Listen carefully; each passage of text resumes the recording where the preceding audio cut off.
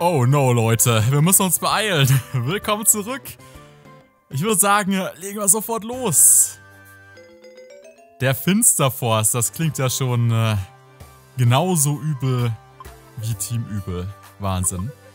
Ja, genau.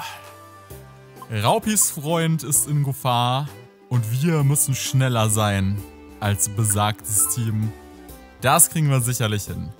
Oh, wenn du ein wichtiges Abenteuer bestreitest, begleiten dich festgelegte Mitglieder. Sie sind mit einem Schlosssymbol markiert. Oh, okay. Ergibt Sinn. Dass wir beide natürlich hier mitten müssen, aber sonst sind wir flexibel anscheinend. Oh, verdammt, ich wollte gar nicht aufbrechen mit Zickzacks. Oh nein, ich wollte eigentlich tatsächlich Taubsi schon mitnehmen, aber egal. Der Finsterforst. Da wären wir. Safkon hat sich in diesen Wald verlaufen. Gengars Bande hat bestimmt einen Vorsprung. Wir beeilen uns besser. Kein Thema. Finstere Wälder sind doch kein Problem. Verlorene Wälder vielleicht schon eher, aber das kommt immer drauf an. Wenn ich hier der Musik folge, folge ich auch guter Musik oder so.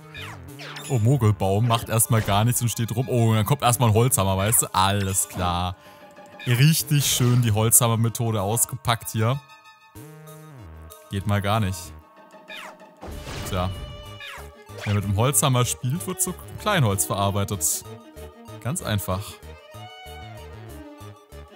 Auch ein schönes Gebiet, ne? Ich mag das irgendwie. Hat was. Was, was zum... Oh, ein Zweig.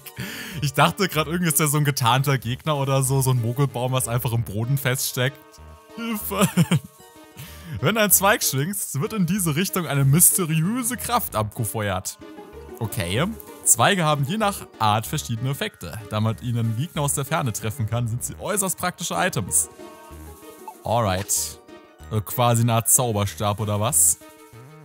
Nett. Aha, was haben wir denn hier? Erstmal weg damit. das arme Quieke. Oh Gott. Tja. Ja, ignorieren wir mal das Mogelbaum. Ich würde sagen... Ach, come on. Ach so, ja, ist ja egal. Eigentlich ist das Alettoskop echt praktisch. Wisst ihr, wie oft das schon getriggert hat? Fällt mir nur mal so auf. Das ist halt wirklich nützlich. Oh, ein kampfunfähiges Pokémon. Ist das ein Pfiffchen gewesen gerade eben, was ich da gesehen habe? Ist gerade gar nicht so richtig gesehen, aber sehen wir mal. Gleich kommen wir ja weiter. Oh, du warst mal wieder ein bisschen schneller, Noah. Oh, come on. Nicht die Genauigkeit senken. Das, das, ist, das ist ganz mies. Und an sich, ich meine, dieses Zickzacks, das wir dabei haben, ist halt ein reines Support-Zickzacks, aber ich finde es ehrlich gesagt nicht mal so schlecht. Es hat bisher ganz ordentlich was genutzt, so, also nicht schlecht. Wie oft willst du jetzt noch mit äh, Feuersturm verfehlen? Okay, alles klar. ich weiß es gar nicht. Das Problem ist, es wird ja alles mit Balken dargestellt. Also eine genaue Angabe, wie präzise das ist, haben wir leider nicht. Oh, oh, beeilt euch, das ist nicht gut. Oh oh. Leute, helft, helft mir hier mal. Das ist nicht der Gegnertyp, mit dem ich gut umgehen kann. Vor allem, wenn Feuersturm daneben gehen würde mal wieder. Na komm. Weg damit, sehr schön. Oh. Ja, stimmt, wir müssen natürlich aufpassen. Jetzt als Boden-Pokémon hier Jetzt kommen die ersten Probleme. So ein bisschen mit Typen schon. Schon ein bisschen gruselig hier und da. Aber immerhin hat unser Bisasam ja dann zwei Typen Gift. Und da schläft erstmal Zickzacks ein. Großartig. Ähm, ja, bitte, bitte helf ihm einfach, okay? Ich kann eh nichts machen da hinten. Wird ein bisschen schwierig. Komm schon. Leute, es ist nur ein Sonnenflora. Ganz einfach. Ganz einfach. Na, kommt da hinten. Danke. Puh. Okay, und du wolltest einen Apfel haben. Ne? Pfiffchen ist starr vor Hunger. Natürlich kriegst du den Apfel. Es soll Platz machen, so richtig fies. Ey, Pfiffchen, verzieh dich. Mir egal, ob du gleich an Hunger stirbst. So. Ah, es will mitkommen. Cool. Schutzrhythmus. Wird ein Teammitglied innerhalb einer Runde angegriffen, steigen dabei jedes Mal seine Verteidigung und seine Spezialverteidigung. Auch wieder nur eine Runde. Genau, nichts weg hier. Eine Ebene weiter. Haben eh schon einiges an Zeit verbraten. Vor allem jetzt habe ich auch noch einen Apfel verschwendet. Und mein Magen wird langsam leer. Hoffentlich kriegen wir keine größeren Schwierigkeiten hier unten. Na, Knochenkeule. Mein Signature-Move. Nichts da. Tja. Oh, cool. Muggelbaum wird auch mit. Ja, komm mit. Klar. Feilschen hat es dabei. Okay, was ist das denn schon wieder für eine Fähigkeit? Senkt die Preise von Items, die in Läden innerhalb von Dungeons angeboten werden. Cool. Okay, leider können wir es allerdings noch nicht mitnehmen. Ein bisschen schade. Aber gut, irgendwann vielleicht. Oh mein Gott, das schreit nach einem Itemladen da drüben schon.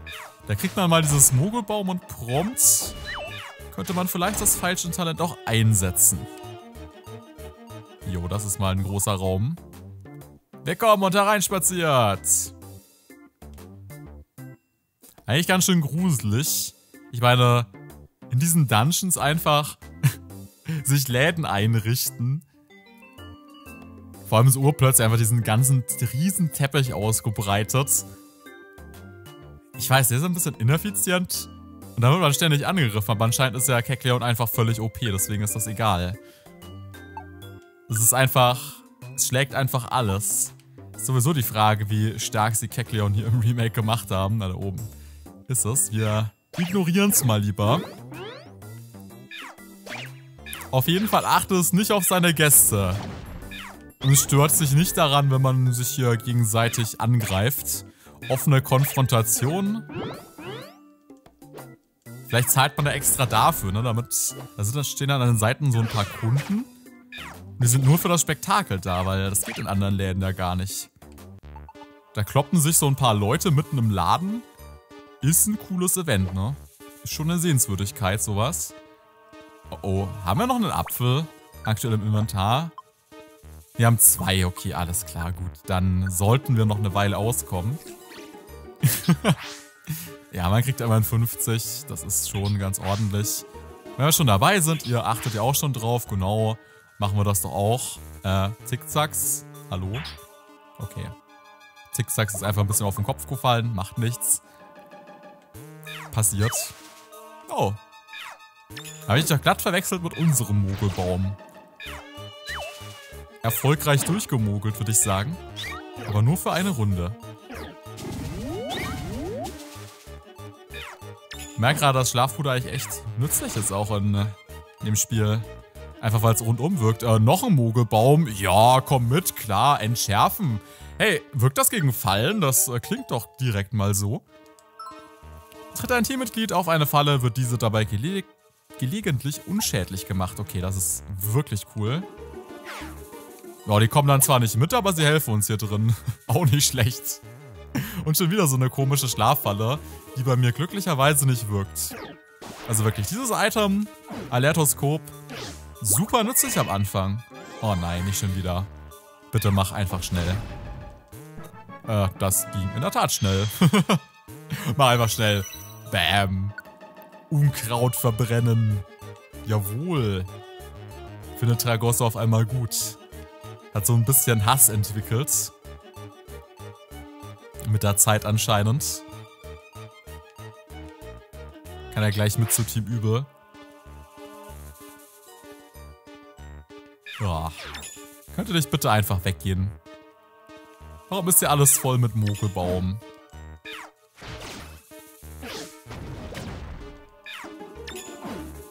Ja, weg mit dir. Das war klar.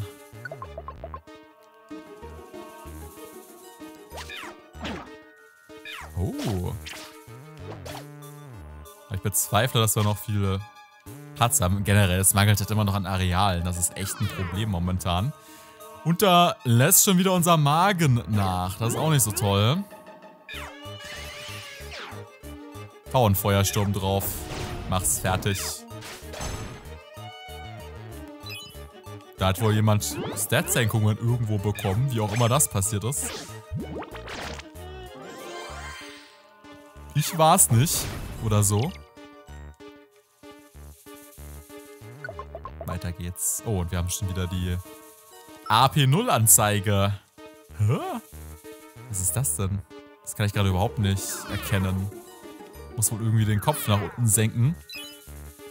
Jetzt bin ich sehr neugierig. Allerdings, äh, mit Äpfeln können wir wohl kaum dienen. Ne? Bin ich so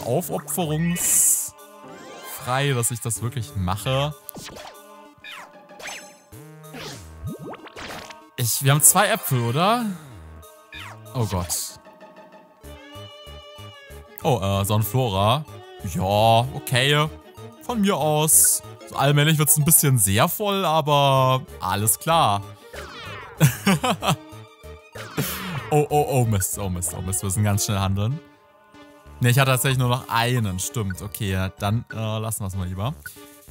Dann sollte man uns eher auf die Suche begeben oder möglichst schnell sein. Eins von beiden. Super effektiver Move, ich sehe schon. Du hast es raus. Vor allem, dein Kollege hat einfach mal mega Sauger drin und du greifst mit Absorber an. Habt ihr nicht das gleiche? Ihr kommt aus demselben Dungeon, das kann doch nicht wahr sein. Danke.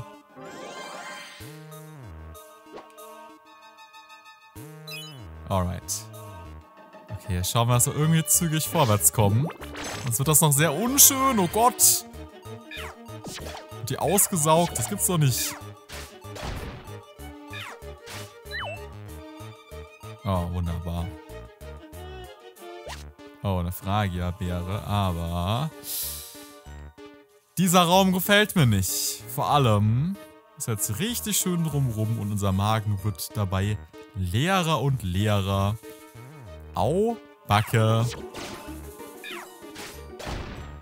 Langsam wird die Situation ein bisschen heikel dadurch. Jetzt schnell handeln. Komm schon. Wo ist die Treppe? Das Gefühl, ich umgehe sie komplett, oder? Oh, Mist. Und schon wieder auf 20. Irgendwas greift uns da drüben an.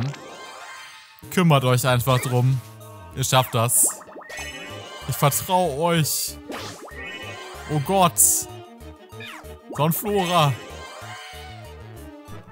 Mogelbaum ist egal. Da, da kann eins untergehen. Wir haben zwei. so ist das mit der Einzigartigkeit, ne? Wenn es denselben Charakter zweimal gibt, egal. Darf sterben. Passiert. Ersatz ist am Start. Oh, oh, oh. Oh, oh. Oh, oh mein Gott. Wir sind echt am Limit. Das ist ziemlich uncool. Äh, kann man da auch so ein bisschen was rausholen? Geht das? Zwei Punkte, wow. Das ist, äh, gut. Okay. Können wir vielleicht die Teamfolge ändern? Geht das irgendwie? Geht das? Lass mal sehen. Äh. Oh oh. Oh oh. Gibt es eigentlich keine Möglichkeiten? Lass mal sehen. Es gibt noch Taktiken. Umsehen. Sieht schlecht aus, oder? Wir sind ein Team, ja toll. Folgt dem Anführer. Oh nein. Ernsthaft? Kann man nicht das Team umstellen? Das ist unfassbar schlecht. Generell hätte mal sein können, dass ein Menüpunkt irgendwie anders benannt wäre. Oh wow, warum zum Geier ist das unter Sonstiges? Das erscheint mir wichtiger als manch anderes. Angenommene Aufträge zum Beispiel brauche ich nicht in diesem Menü. Das kann gerne auf Sonstiges gehen. Dann doch eher das Team wechseln bitte. Oder halt Team wechseln gleich in Team Info integrieren, dass man beides zusammen hat. Okay, alles klar. Ja gut, das ist dann kein Problem. Müssen wir halt mal kurz Bisasam spielen auch. Ein voller Magen. Tut mir leid, wir können dir nicht helfen. Ein Teddy Hosa war es, okay. Aber du hast keinen. Was willst du tun? Manchmal ist die Realität einfach grausam. Es tut mir schrecklich leid. An dem Punkt ist das Spiel nicht mehr ganz kinderfreundlich. Teddy Ursa wird zurückgelassen und verhungert in einen finsteren Wald. Willst du wirklich weitergehen, um mir zu helfen? Spiel, warum? Nein. Oh, diese Entscheidungen, Leute. Ich kann es kaum glauben. Sensationell. Wow. Können sich manche RPGs ja nur Scheibe abschneiden, ich sehe schon. Grausame Realität. Ein äußerst äh, gesellschaftskritisches Spiel noch dazu. Ich sehe schon. Verblüffend. Absolut verblüffend. Meine Moral am Ende. Nun bin ich ein Monster, das Tediosa zurückgelassen hat. Ab jetzt ist es die Genozidroute, Leute. Grausam. Aber man kann nichts dran ändern. Immer weiter und weiter.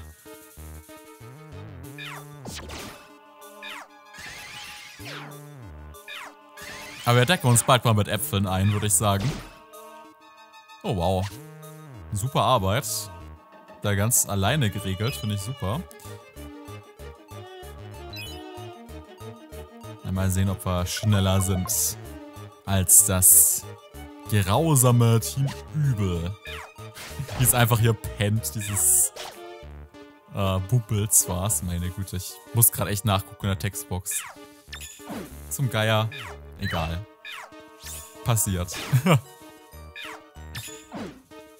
ist aber auch schon schlimm jetzt, wenn man wirklich bei so vielen Pokémon ist, nur mit 8 Gens und so, ist schon heftig. Wenn das in Zukunft noch mehr wird, echt verrückt. Weil ich würde sagen, bei mir persönlich bis, ja, bis, Gen 1 ist auf jeden Fall auswendig komplett drin. Gen 2 gibt es manche Schwierigkeiten mit Namen, würde ich sagen. Gen 3 ist wiederum voll drin, weil ich damit unglaublich viel Nostalgie verbinde. Okay, gerade eben ist ein schlechtes Beispiel gewesen, aber egal. Gen 4 ist eigentlich auch noch ganz gut. Ab Gen 5 schwankt es dann ein bisschen mehr, was das betrifft. So Namens... sich die ganzen Namen einprägen, ne? Man auch sagen muss, ich... Ja... So Gerade mit äh, den Ultra-Editionen und später dann Gen 8 ist so ein bisschen... Äh, das Dasein als Pokémon-Fan dahingehend eingeschränkt worden irgendwie. Dass man doch nicht mal ganz so sehr der krasse Fan ist, ich weiß auch nicht. Schwierig, geht aber vielen so. Krieg ich nur immer ziemlich mit und ich meine, ja, Gen 8 wird ja zu Recht kritisiert. Natürlich auch ein Spiel, was durchaus seine Stärken auch hat. Ich schon mal meinte, ich an sich äh, hat da viel Spaß durchaus dran, aber es hat halt schon sehr eindeutige Flaws und muss man halt auch drüber reden, ne? Das ist ganz klar. Oh, aber es macht uns glücklicherweise gerade nichts. Übel.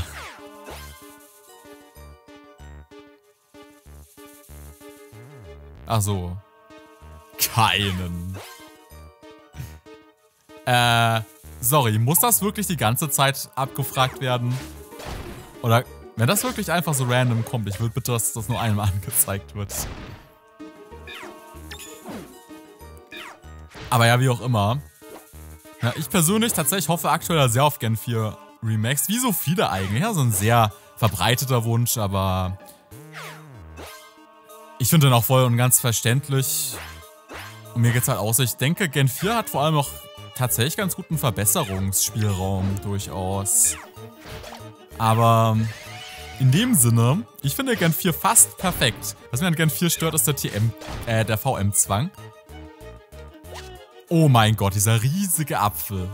Wow. Unglaublich. Wir können bald wieder weitermachen, Leute. Sehr schön. Aber ja, Gen 4. Der VM-Zwang ist eigentlich so ziemlich das Einzige, glaube ich, was, mit, was mich persönlich dran gestört hat. Mit Gen 4 hatte ich damals so unfassbar viel Spaß. Ich kann mich noch gut zurückerinnern. Weil Gen 4 ist das erste Spiel, was ich mir damals importiert habe, sogar extra. Und damit warst du damals echt der King, weil das war ja noch eine Zeit, wo die Releases da nicht zeitgleich waren. Und Gen 4 dann vor allen anderen zu spielen quasi. So in Deutschland war es auch, ich weiß gar nicht, Gen 4 ist auch ewig her, damit DS war relativ frisch. war das nochmal? war auch wieder im Winter rum, ne? November, Dezember, irgendwie so. Wie es ja meistens ist. Wechsle ich jetzt wieder auf Knogger? Ich nehme mal ruhig mal Bisasam, ist eigentlich auch ganz nett. Aber ja, Gen 4 verbinde ich schon auch einiges. Aber witzigerweise war bei mir persönlich Smaragd das erste Spiel, was ich mir von eigenen Geld gekauft habe. Und deswegen ist es ein ganz besonderes Spiel für mich. Und Gen 3 ist für mich nochmal diesbezüglich wirklich ganz außergewöhnlich. Also, ist auch wirklich, glaube ich, das ja, die Pokémon-Edition, mit der ich am meisten verbinde. Smaragd. Hat so einen ganz persönlichen Wert für mich. Das ist auch so ein Stück Freiheit dadurch quasi, ne? Bei mir war es immer so, dass sowieso Spiele da waren, über einen Bruder. Und in der Familie man auch das durchaus respektiert hat und auch mal Spiele gekauft hat, so als Geschenk oder so. Und deswegen, ja, hat das durchaus eine Weile gedauert, bis man sich dann tatsächlich selbst mal was kaufen wollte überhaupt. Bis man einen Wunsch hatte. Aber es war schon ganz cool. Und generell Pokémon, ne? Für viele von uns ist das sicherlich was, was uns unser Leben lang begleitet hat. Oder zumindest eine sehr große Zeitspanne. In Gen 1 kann ich mich auch noch so gut da, damals erinnern. Den guten alten Gameboy-Zeiten, ne? Und hat nachts irgendwas heimlich trainiert. Damit man mal ja den nächsten Kampf gewonnen hat gegen andere am nächsten Tag. Das, das sind die passenden Ziele, um lange aufzubleiben, ich sag's euch. Egal. Wir sind ganz schön tief in den Wald vorgedrungen. Ich frage mich, ob wir Safkon weiter vorne finden. Stopp! Ach Gott, ihr Idioten wieder. Dreimal dürft ihr raten, wer Safkon zuerst findet. Wir natürlich. Ja, ich bin untröstlich. Aber für euch ist die Endstation. Äh, wie, wie, was? Hey Gengar, wieso suchst du immer Streit mit uns? Hast du das etwa schon vergessen? Wir wollen doch die Weltherrschaft. Raubis Mama wird uns reich belohnen. Und Raubi wird dem Team beitreten. Das bringt uns unserem Ziel näher. und ihr seid uns dabei im Weg. Tut mir echt leid, aber hier endet euer Abenteuer. Auf Nimmerwiedersehen. Epischer Übergang. und diese Armade einfach, Leute. Wir leben gerade den Pokémon-Krieg. Den internen Pokémon-Krieg, ja? Nicht den menschengemachten. Schaut euch das an, ja? 1, 2, 3, 4, 5, 6, 7. Alles klar, Leute. Alles klar. Seid ein bisschen in der Unterzahl. Aber man sollte wissen, man verlässt sich nicht allein auf seine Zahlen. Was macht der Tunnelzweig? Bringt die Wand in Blickrichtung zum Einsturz, okay. Alles klar. Wir schlafen mal. Wir Stefan Rettan erstmal ein hier.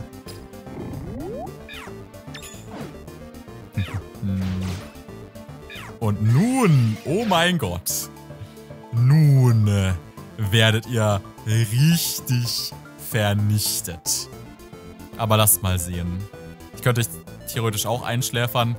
Das Problem ist echter Zweit-Typ Gift gerade. Äh, das heißt, ich persönlich kann tatsächlich gar nicht so viel machen. Anscheinend wurden all unsere Mägen regeneriert.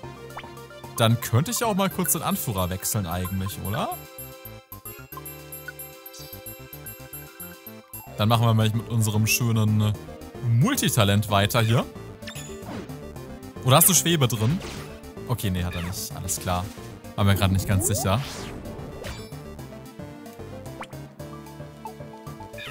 So.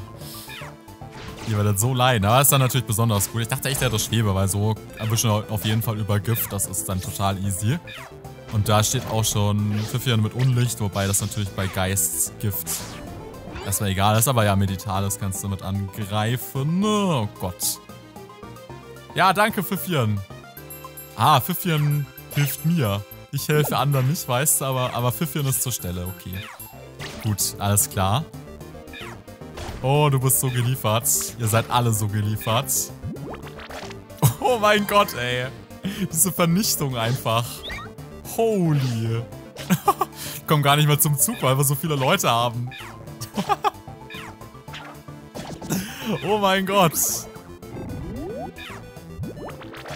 Auf dieser Teil soll es einfach Statuseffekte ausspammen. Finde ich auch gut. Richtig insane. Ob das alles Harmonie bewirkt? Was ganz witzig ist, weil ich ja persönlich eigentlich ja auf YouTube am meisten auf eine harmonische Community aus bin. Deswegen ist eigentlich das Stichwort Harmonie ziemlich gut sogar. Passt zu meinem Team so. Finde ich gar nicht mal so schlecht. Harmonie ist anscheinend ganz schön OP. Ja, wir machen einfach Freundschaften mit allen, Leute. Und Bam, Mann. Richtig gut. Richtig gut. Komm, Retter. Du olle Schlange. ja, nice. Ah, das werdet ihr bereuen. Darauf könnt ihr euch verlassen. Erstmal davon. Jojo's Secret Technik. Erstmal fliehen. Endlich sind wir diese Nervensägen los. Jetzt müssen wir nur noch Safkon finden. Äh, Entschuldigung. Wow. Das scheint ein echt harter Typ zu sein. Mensch. Hätte sich doch selbst befreien können, oder? Sucht ihr vielleicht nach mir? Du musst Safkon sein. Komm, wir bringen dich nach Hause. Raupi ist schon ganz krank vor Sorge. Hurra! Ich hatte Angst, also habe ich mich hier versteckt, meinen Panzer gehörtet und gewartet. Danke. Naja, er hat sich schon vorbereitet, ne? Erstmal seinen deutschen Panzer hier weiter gehärtet. Ne? Der war schon vorbereitet auf Gengar. Der hat keine halben Sachen gemacht. Der sie bestenfalls halbiert, Leute. Tja. Richtiges krasses äh, Safkon hier, ich sehe schon. Äh, wobei, naja, bei den heutigen Bundeswehrzuständen wäre es wahrscheinlich kein besonders krasses Fahrzeug für ihn gewesen, so. Boah, ist er einfach alles bekommen. Oh mein Gott. Ja, Hut, Hut, klar, gerne. Nocturne mache ich eigentlich unglaublich gern, sogar vom Design und so. Ist schon ganz schön. Irgendwie. Safkon, mir fällt ein Stein vom Herzen. Ich freue mich so, dich zu sehen. Ich mich auch, Raupi. Noah, Chris, ich weiß gar nicht, wie ich euch danken soll. Leider habe ich kein Geld, um euch zu bezahlen. Oh, das ist schon in Ordnung. Wir wollen doch gar keine Belohnung. Hauptsache ist doch, dass Safkon gesund und munter zurückgekehrt ist. Ich weiß nicht, was ich sagen soll. Ihr seid... Ihr seid noch viel cooler, als ich dachte. Wenn ich groß bin, will ich auch mal ein Retterteam beitreten. was für eine Begeisterung. Du bist sicherlich mal ein guter Retter. Hier kommt da eine Idee. Chris, was hältst du von diesem Ort hier? Warum errichten wir nicht gleich hier eine eindrucksvolle Basis für unser Team? Wow, wie cool, eine Basis. Wenn ich groß bin, will ich auch hier arbeiten. Ich auch, ich auch. Haha, abgemacht. Lass uns hier eine richtige Basis für unser Retterteam bauen.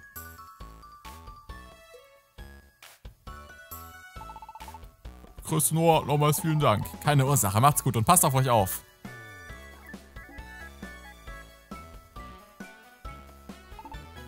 Ah, tja, verdient haben wir zwar nichts, aber was will man machen? Dafür haben wir Gengar gezeigt, dass er mit uns nicht umspringen kann, wie er will. Aber jetzt bin ich echt müde. Lass uns morgen wieder Gutes tun. Schlaf gut. Jawohl. Das hat auch echt Spaß gemacht und es wurde sogar knapp vom Magen. Irgendwie witzig, dass wir in dem Szenario waren. Tja.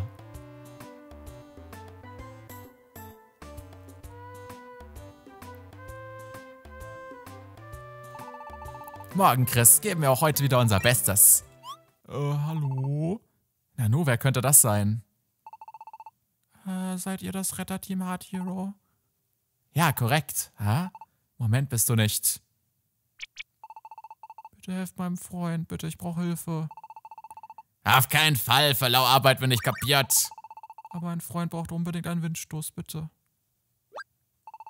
Ich erinnere mich an dich. Du bist doch das Papunga vom Pokémon-Platz neulich. Das Team von Tangolist hat deinen Rettungsauftrag übernommen, oder? Ja, das stimmt. Allerdings ist Tangolist... Er ist noch nicht zurück von seiner Mission. Was sagst du da? Dramatische Musik. Mein Freund Papunga wurde zwischen zwei Felsen eingeklemmt. Wir Papunga können zwar überall hin, wenn uns der Wind trägt. Doch obwohl dichte Wolken am Himmel hängen, weht nicht das leiseste Lüftchen.